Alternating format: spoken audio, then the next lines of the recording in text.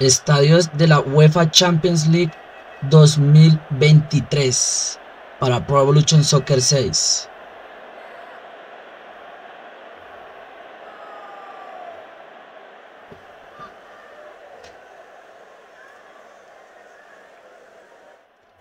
Créditos a la página World Stadiums P6.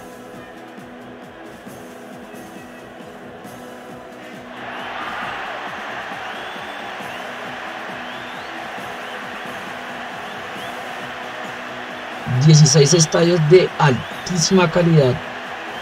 ...empezando por este... ...Parque de los Príncipes...